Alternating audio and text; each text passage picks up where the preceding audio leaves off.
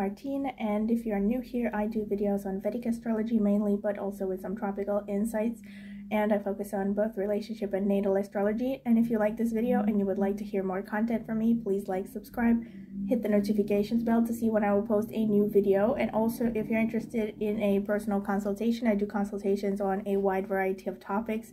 Please check out the video description. I will leave my contact information there. Thank you. And also, I have recently started a tarot channel. If you're interested in tarot, please be free to check it out, maybe subscribe.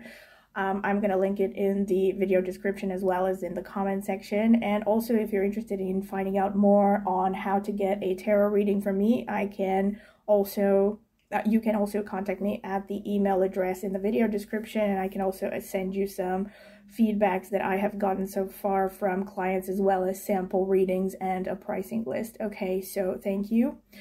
And today's video is going to be on another requested topic, and namely, it is the topic of what tends to make a person unfaithful. Um, you know, this is going to be basically free speech, like, I mean, as in not scripted, um, on based on just observations that I have come across throughout many years of reading charts. And um, the first thing that I can say, I'm just going to get straight into it with respect to people who tend to be unfaithful. Well, first, as an introduction, as usual, I have to say that there are potentially several different reasons why people can be unfaithful or why people will have multiple relations, okay? So, people who, let's say, will go through a phase when they are more promiscuous, more libertine, or um, people who just seem to jump around from one relationship to another quite uh, frequently. You know, there's usually some common configurations, some common reasons why this happens. And um, the first and foremost reason that I can mention with respect to why a person will not necessarily tend to be unfaithful, but with respect to people who are just not happy in relationships, um, is the topic of Venus and Jupiter um, and their dignity with respect to the spouse archetype. So if you have also, I'm going to link these videos in the description. I have done these two videos a while ago. One where I talked about Venus as the wife archetype in a man's chart and another one where I talked about Jupiter as the husband archetype in a woman's chart. And um, basically, there's a, a, kind of dignity that is, um, you know, uh, how should I put it, assessed based on the sign placement and also um, aspects that Venus and Jupiter um, receive in a man's chart and a woman's chart, respectively, and exactly how this shows the degree of satisfaction in the marital life or with respect to partnerships, romantic partnerships in general, especially long term partnerships, because Venus is the wife archetype and the Mars, uh, uh, sorry, Jupiter is the husband archetype. To a lesser degree, Mars can be the boyfriend archetype for a woman, okay, but I won't get into that right now. This is mainly about Venus and Jupiter. And what I have seen is, like I also mentioned in those videos, when these planets are really afflicted or like they're in a bad dignity with respect to the spouse archetype, meaning they show that this person, for some usually karmic reason, will suffer a lot of disappointments in relationships or like they will just come across partners who, for one reason or another, will not meet their needs or um, will just not make them happy, will not really fulfill the role of the spouse in their lives properly. Um, and what happens is that this makes a person understandably dissatisfied and they will tend to, you know, either cheat, sometimes it is possible that they will resort to cheating um, but also, it can just show that these people will tend to jump around from one relationship to another hoping that, you know, the next relationship will be better than the previous, which is a mistake, like I also mentioned in those videos. Um, because it is a karmic thing, and in order to solve these things, there are um, separate remedies for remedies, quote unquote, for women and men, and how to solve their damaged Venus or uh, Jupiter situation. Okay, and that technically can improve their satisfaction in relationships. And now, Jupiter is basically in the worst positions. Um, and once again, with these, you, I would say you have to look mainly at the D1 and to a lesser extent the D7 and the D9 charts as well, okay? Uh, meaning you have to look at the Jupiter situation for women and the Venus situation for men in these three charts. Um, once again, each of them stand for something else, but what I have seen especially is in, in the D1 and um, actually especially in the D9, for instance, if in the D9 uh, these planets are trashed, it tends to show infidelity or like the person might tend to stray because again the D9 is the chart of marriage and when Jupiter is debilitated or in a bad position uh, again this is not actual debilitation okay of the planet that's something else this is debilitation based on um, whether these planets are able to fulfill the spouse role in the person's life. That's it's a it's a relationship focused type of debilitation. Okay. Um, so if Jupiter is debilitated, let's say in the D9, it tends to show that the husband for a woman does not fulfill, does not support her destiny, her ultimate development spiritually. Um, so let's say, for instance, if this is a career woman who has worked hard for everything and she's really determined to be successful, she will attract men who um, either are actively against her career fulfillment or just do not support her at all. Maybe they do not understand her at all with respect to her ambitions. Um, and this makes a woman, of course, very unhappy, very frustrated.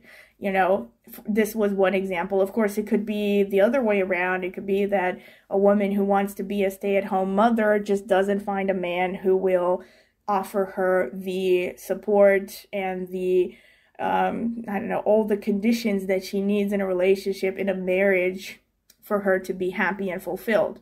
So if this happens, there will be a tendency to unfaithfulness and there would definitely be a tendency to want to change relationships because the person thinks there's something better around the corner. Okay. Um, if it happens in the D7, it's probably the worst, especially, well, actually for both men and women. In the D7, because the D7 shows what you feel you can gain from your spouse. Like, is the spouse um, adding some important, um, let's say, value to your existence? Is the spouse, let's say, are you doing things now because of your spouse or because of your long term romantic partner? Are you doing things that you ha- would have otherwise not done? You know, that is the question. And if Jupiter is in a bad position in the D7, it shows that basically you're gonna feel like this guy doesn't really bring much to the table. Um, irrespective of what it may have seemed like he would bring to the table when you started dating. You see what I'm saying? Um, and also what it can also show is that the spouse, the the husband, you know, will not help you much with children. So if you have children as a woman, um, he maybe will be an absent father. You know, even if he, let's say, um, provides for you financially, he will really not help you. He will not support you in raising the children. So you will feel tired and frustrated all the time, and you feel like you have no emotional understanding and no support. And again, this will breed dissatisfaction. Um, last but not least, if Jupiter is debilitated in the D1 chart, it will show generally in life that you feel like the partners you attract, the long term romantic partners, are not much support to you. Uh, depending on the level of debilitation, you know, there could be like a really bad, a really trashed Jupiter, uh, which can really show that you tend to attract a lot of deadbeats, you know, um, men who really just don't bring much, do not enrich your life much um, or they don't really like you for who you are. That's another thing. With a debilitated Jupiter, women can attract men who are shallow, who don't really see them for their spiritual values. Um, so, and again, basically, this will breed dissatisfaction. Jupiter is debilitated in the signs ruled by Venus and by Mercury. So, Taurus, Libra, Gemini, um, Virgo. and uh, I'm pretty sure that I am missing some. I think, yeah, Capricorn, and uh, let me think. I think there's one as well. There is maybe one other that I am missing. Um, hmm, Capricorn and something else. I forget right now, but it's all in that video that I made the long, the long one. Um, yeah, but basically, in these signs, it basically means that the husband archetype in your chart, in your horoscope, depending on again which chart it's in, which divisional chart, um, is just not living up to his side of the deal. That's basically what it means. But the mistake is to think that you you can solve this problem by switching to a different partner. The remedy for a woman who has a bad Jupiter is to cultivate the qualities of Jupiter within her own life. And I know this sounds like a cliche, like I also mentioned in that video, but the, the remedy is to cultivate joy and happiness within yourself and also higher spiritual values the things that jupiter stands for you know also sense of wonderment sense of joy in life adventure optimism faith and all those things. And the more you learn to love yourself and to be happy with life on your own the more likely it is that you can attract a worthy partner a, a partner who um, you know, sees you for who you are and accepts you for who you are and is actually going to support you. For men, um, it's it, it, there are far less placements where Venus is debilitated, which is interesting in itself. Uh, Venus is debilitated in Cancer, Leo, and Virgo, and each of these are going to take on different nuances. Again, I went in depth in those videos that I'm going to be linking in the video description. Um, and in a man's chart, again, it shows that the wife is gonna be unsupportive one way or another. Something is gonna be dissatisfying, you know, about the wife. Again, in the D1, it shows that this wife uh, generally is not particularly supportive of the man or he feels like she's not supportive okay it could be that she's trying to be supportive but he doesn't really um, he doesn't really feel supported, okay? Or the kind of support that she gives is not according to his expectations or what he needs in order to feel supported in life. Um, and loved and all that. And also Venus being sensuality and all that, there could be frustrations with respect to getting their needs met with respect to intimacy and romance in the relationship as well.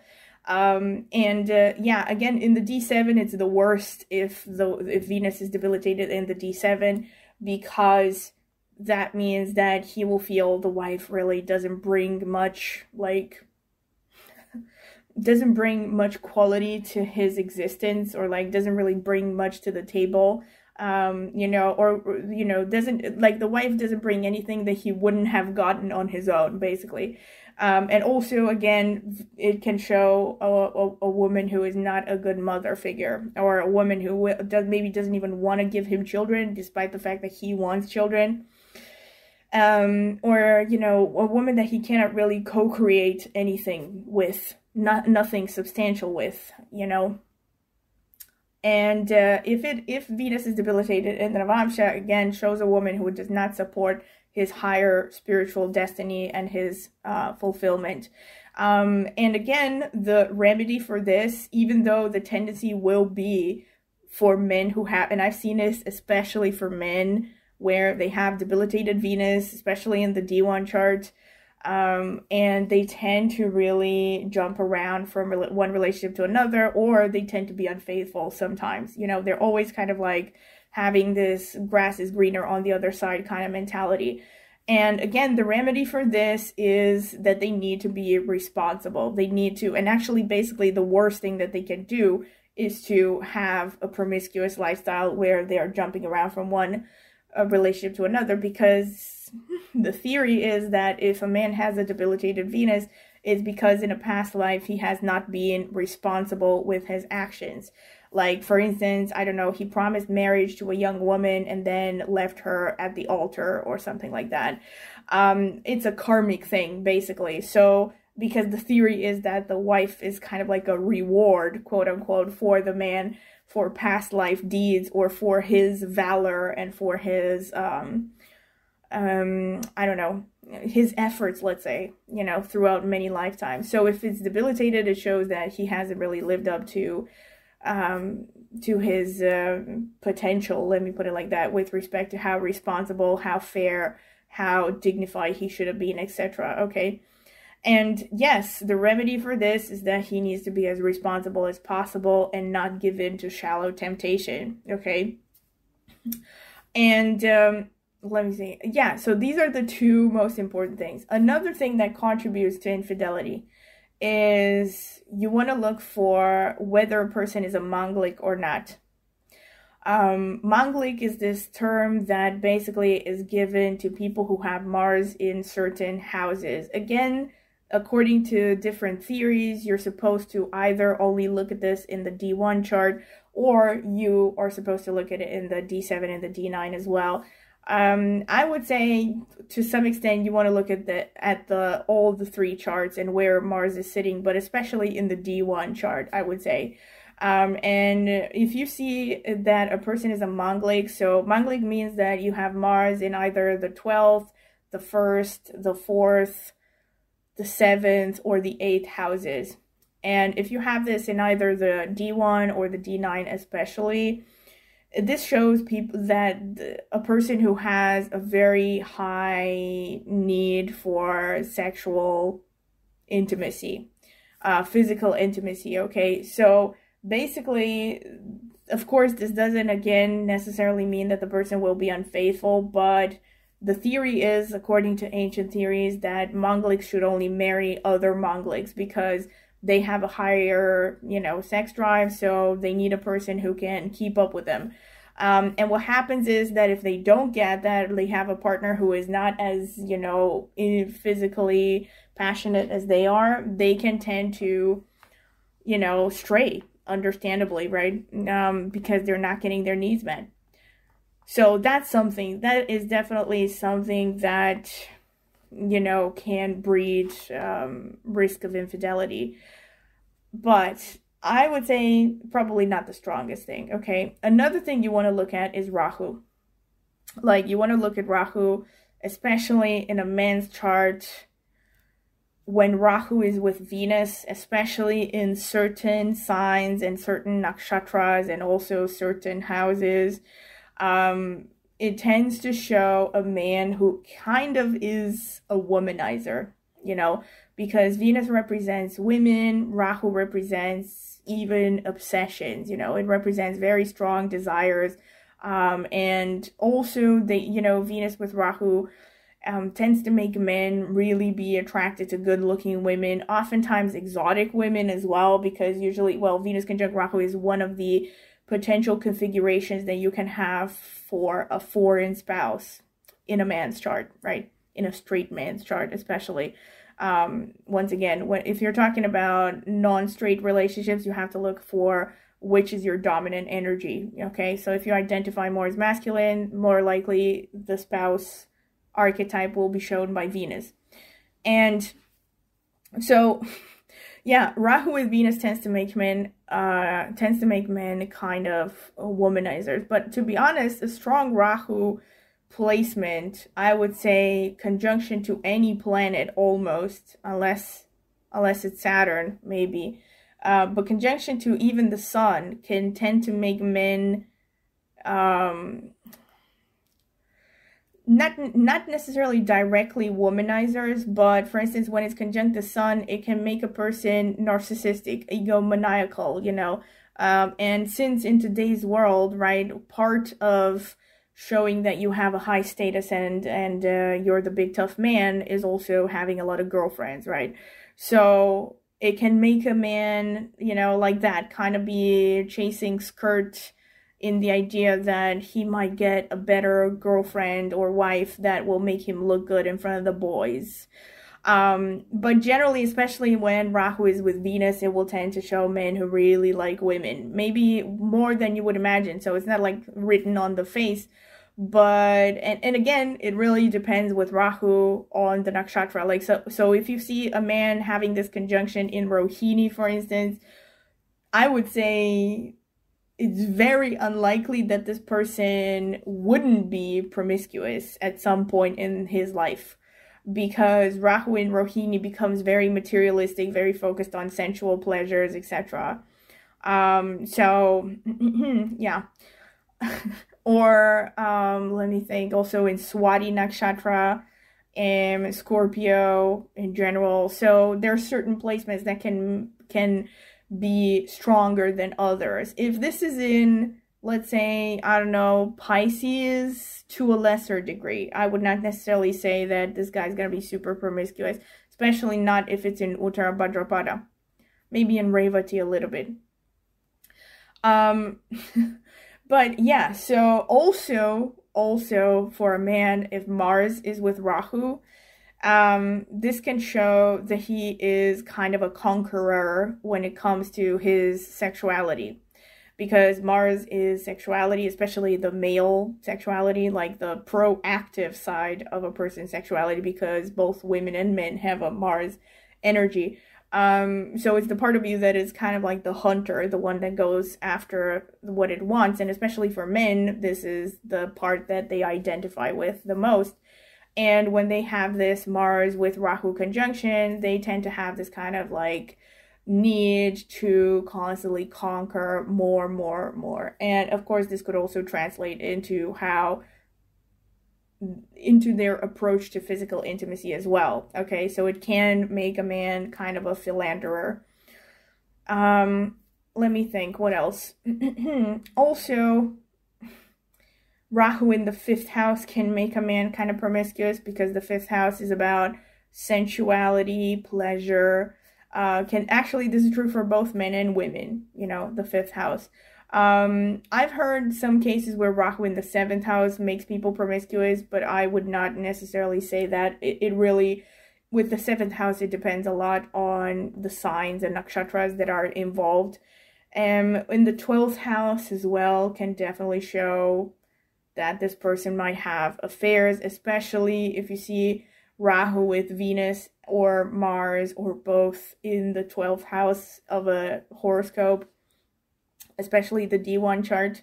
Um, if you see this, it will tend to show a person who will tend to have secret affairs because the 12th house is the house of basically secrecy, you know. And also, it's the house connected to called bedroom pleasures, but that's also because it's associated with things that happen you know, hidden from view, so to speak. For instance, Bruce Lee, I read this, like, had, was a famous example with, Mar- I think, Mars Venus in the 12th house, and he had countless affairs, according to people who documented his life. And that's another thing. Like, so if you see a person who has Mars or Venus or both in the 12th house in general without Rahu, um, it can show a person who will tend to be a bit of a philanderer. Um, but again, none of these things are set in stone. And usually, if you see a person who's like a chronic cheater or something, they will probably have multiple aspects that point towards this. So it's not like everyone who has these placements, like if you have Rahu with Venus, that you are going to be a cheater. Um, it depends on a lot of things, of course. Um, but yeah, these are some some of the general things that I have noticed. Also, uh, I I don't know. I, I, yeah, I think I did mention this. So Venus with Mars, a person who has a lot of Venus, a lot of Mars, these people will tend to be more romantic, more more you know, again, inclined towards physical intimacy, more interested in these things. Um, so even a Venus Mars conjunction already in itself can show a person who is just very driven by love and romance and lust and all this stuff, okay? But it can also show a person who's just very artistic, not necessarily a person who focuses their energy towards, um, you know, having a lot of romantic affairs.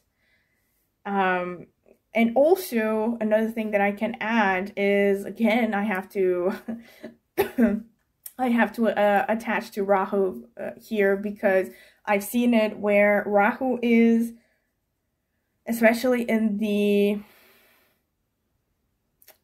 either actually either in the seventh or in the first house of the Navamsha, it tends to show people who will have some level of dissatisfaction connected to the married life.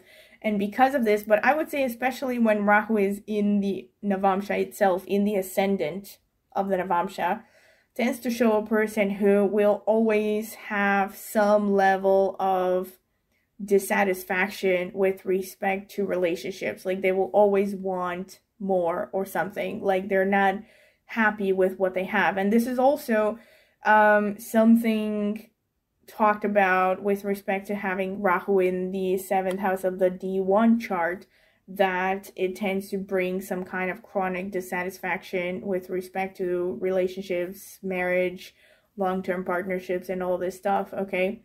So that in itself can also, you know, make a person more inclined to be unfaithful or to have multiple relationships. Another thing that I have read, but to be honest, have not really researched particularly in particular myself. So I have read this in multiple sources, but I don't know to which extent it is true that um, people who have Gemini, um, I think, um, if yeah, if they have their swa, so the sign that the Atmakaraka sits in in the Navamsha, if it is Gemini, that they will have two marriages or multiple relationships, but I'm not sure if this is true. Okay. Um, this is a theory though. So, yeah, these are some things that, um, you know, I have noticed over the years. Maybe there are a lot more. So, I don't know. I might make a part two to this. But yeah, this is being it. And if you have enjoyed it, do not forget to like, subscribe, and hit the notifications bell to see when I will post a new video. Okay, thank you.